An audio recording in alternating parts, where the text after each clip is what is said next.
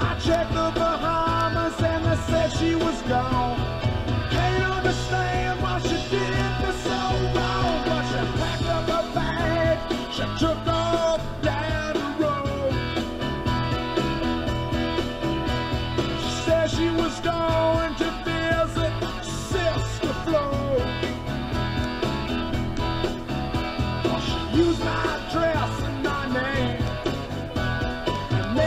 show.